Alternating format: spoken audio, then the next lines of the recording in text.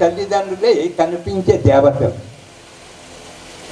కనిపించే కనిపించే తల్లిదండ్రులే కనిపించే దేవతలు.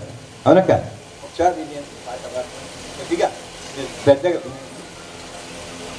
ఎన్ని లోకాలు గాలించినా ఎన్ని అర్థాలు సాధించినా ఎన్ని లోకాలు గాలించినా ఎన్ని అరకాలు సాధించినా కన్న తల్లిదండ్రికి మిన్న ముందిరా తమ్ముడు ఈ తత్వము నిజమురా. ఎన్ని లోకాలు గాలించిన అమ్మ మనసెంతో కమ్మనిదిరా. నాన్న మనసెంతో తీయనిదిరా. అమ్మ మనసెంతో కమ్మనిదిరా నాన్న మనసెంతో తీయనిదిరా అమ్మ కోపించిన నాన్న దండించిన అది నీ మంచి కొరకేనురా. అది నీ మంచి కొరకేనురా. ఎన్ని లోకాలు గాలించినా ఎన్ని అవతాలు సాధించిన. తొమ్మిది మాసములు మోసేరా. అమ్మ పదములకు ప్రణమిల్లరా. తొమ్మిది మాసములు మోసేరా. అమ్మ పదములకు ప్రణమిల్లరా. పెంచి పెదవాణిగా మంచి గుణశాలిగా పెంచి పెదవాణిగా మంచి గుణశాలిగా మార్చెను నిన్ను మీ నాన్నరా మార్చెను నిన్ను మీ నాన్నరా ఎన్ని లోకాలు గాలించినా వారి రక్తం పంచుకొప్పుడు తివి వారికెంచెంతో రుణపడతివి వారి రక్తం పంచుకొప్పుడు తివి వారికెంచెంతో రుణపడతివి? వారు నీ ప్రాణము వారు నీ ధ్యానము వారు లేకుంటే నువ్వు లేవురా. వారు లేకుంటే నువ్వు లేవురా. ఎన్ని లోకాలు గాలించినా ఎన్ని అర్థాలు సాధించినా ప్రాణముతో వారు ఉన్నప్పుడే పరిచర్యలు చేసి తరిగించరా. ప్రాణముతో వారు ఉన్నప్పుడే పరిచర్యలు చేసి తరిగించరా. చనిపోయిన పిమ్మట వారి నామమ్ముతో శ్రాద్ధములు పెట్టి ఫలమేమిరా. శ్రాద్ధములు పెట్టి ఫలమేమిరా. ఎన్ని లోకాలు గాలించినా ఎన్ని అర్థాలు సాధించినా? కన్న తల తండ్రికి మిన్న ఏముందిరా? తమ్ముడు ఈ తత్వము నిజమురా? తమ్ముడు ఈ తత్వము నిజమురా?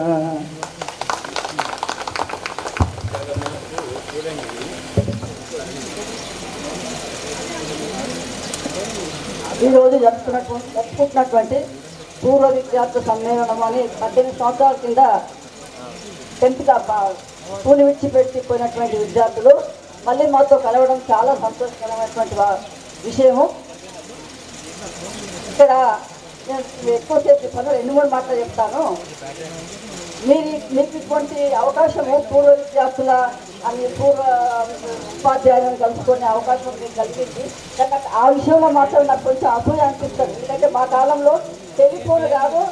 ఒక మనిషి పది కిలోమీటర్లో ఉన్న వాళ్ళు మన వాళ్ళైనా సరే చచ్చిపోతే కూడా మనిషి వచ్చి చెప్తేనే తెలిసేది కానీ తెలిసేది కాదు. నేను చిన్నప్పటి నుంచి కూడా from the beginning infant class నుంచి కూడా నేను హైదరాబాద్లో చదువుకున్నా హ్యాబిట్స్ ఏరియా చదువుకున్నా. కాబట్టి నేను మన ఊర్లో చదువుకుని ఉంటే మన ఊర్లో పిల్లలన్నీ కొంచెం గుర్తుంటుండే.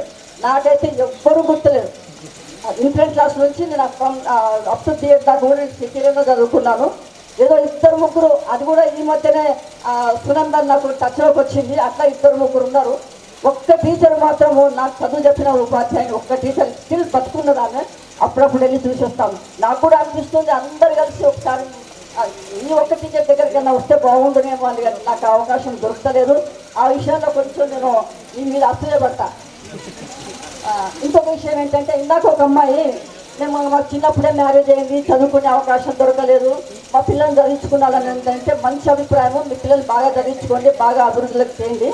కానీ నేను ఒకటి చెప్తున్నా సరే నన్ను ఆదర్శంగా తీసుకుంటారో తీసుకోరో కానీ నేను ఇక్కడ రిటైర్ అయిపోయిన తర్వాత రోజు మూడు సంవత్సరాలు లా కాలేజీకి వెళ్ళి లా చేసినాను. తర్వాత అందరూ నాకు ఇంకా ఇంట్లో ఉండి ఏం చేసేది ఉందనే ఉన్నది కానీ ఇంతగా ఇంకా కొన్ని కొన్ని విషయాలు చెక్ చేసుకోలేకపోయినాను దాన్ని. నాకు ఇప్పటికీ ఏం పని లేదు. నేను చేయగలుగుతా. కానీ దాంతో ఇప్పుడు ఈ ఏజ్లో ఏం లాభం లేదని అనుకుంటాను. కానీ లా అనేది మాత్రం లాయర్గా పనిచేయాల్సిన అవసరం లేదు. బట్ ప్రతి ఒక్కరు కూడా లా నాలెడ్జ్ ఉండాలి. ఇది తప్పు ఇది ఒప్పు ఇది చేస్తే ఇది క్రైమ్ అనేది. కొన్ని కొందరు స్టూడెంట్స్ నేను చూస్తా తప్పులు చేస్తారు. వాళ్ళ దృష్టిలో అది పెద్ద క్రైమ్ లాగా అనిపించదు. కానీ అటువంటిది లా నాలెడ్జ్ మాత్రం ప్రతి ఒక్కరికి అవసరము. లా చదవమని నేను చెప్తాను. ఆ తర్వాత ఇంకొకటి ఏంటంటే కృతజ్ఞత అనేది మనిషికి చాలా అవసరం. చిన్న సహాయం చేసిన జీవితాంతం గుర్తుపెట్టుకోవాలి. ఇంకా అవసరమైతే మీ పిల్లలు కూడా ఫలానా వాళ్ళు ఇంకా సహాయం చేసినారా?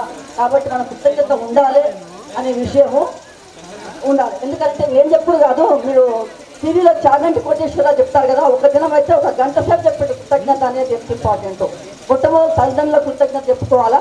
ఆ తర్వాత చదువు చెప్పినటువంటి గురువుకు కృతజ్ఞత. ఈ ఈ ముగ్గురే మీరు ఉన్నత స్థితిలోకి వస్తే బాగు సంతోషపడేవాళ్ళు. ఏ మాత్రం కూడా అసూయ అనేది అక్కడ ఉండదు. తర్వాత ఇందాక తర్వాత ఈ కొన్ని విషయాలు నాకు ఈ టచ్లోకి వచ్చినటువంటి సునంద సంగతి చెప్తాను. ఆమె ఆధ్యాత్మికంగా చాలా ఎదిగింది. మిగతా వాళ్ళల్లో కూడా ఏమేమి టాలెంట్ ఉందో కానీ నేను టచ్లో లేను కాబట్టి నాకు తెలియదు.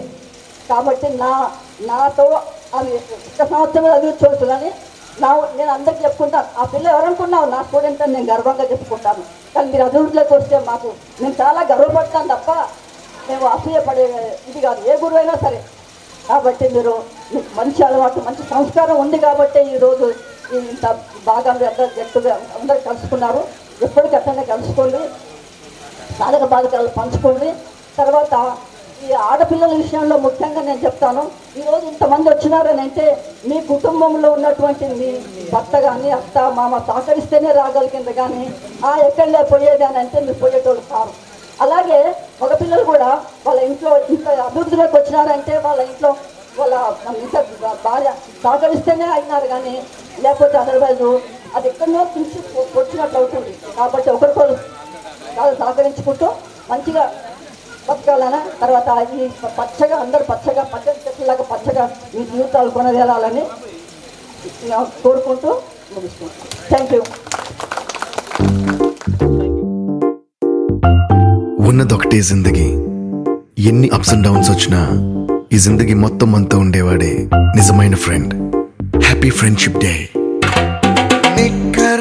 నుండి జీన్స్లోకి మారిన సైకిల్ నుండి బైక్లోకి మారిన కాన్వెంట్ నుండి కాలేజ్కి మారిన నోట్బుక్ నుండి ఫేస్బుక్కి మారిన ఏరా పిలుపు నుండి బాబాయ్ పిలుపు దాకా calling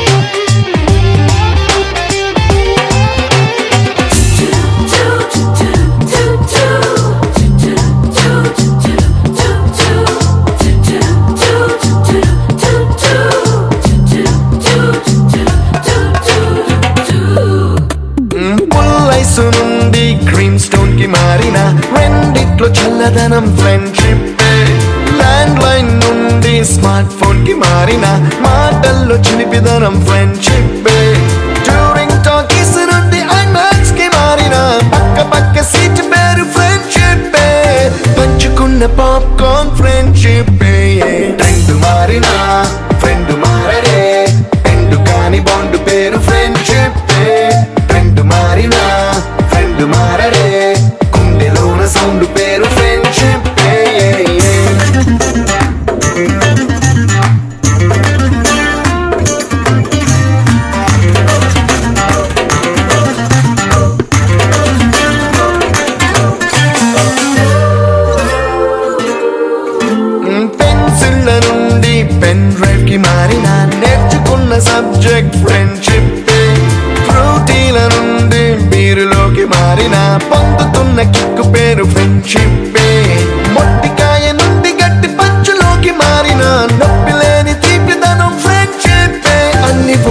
me, I'm a grown-up friendship.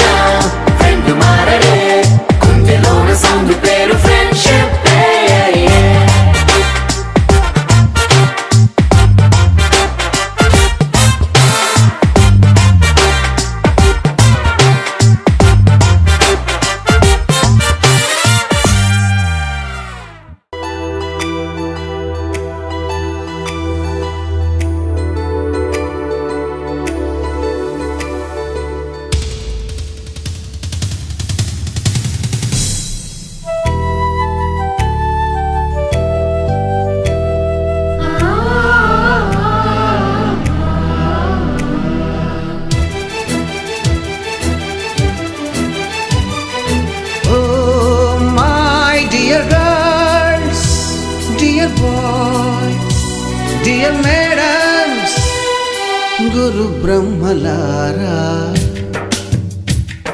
ఎక్కడో పుట్టి ఎక్కడో పెరిగి ఇక్కడే కలిశాము. చదువులమ్మ చెట్టు నీడలో. వీడలేమంటూ వీడుకోవాలంటూ వెళ్ళిపోతున్నాము. చిలిపి తనపు చివరి మలుపులో.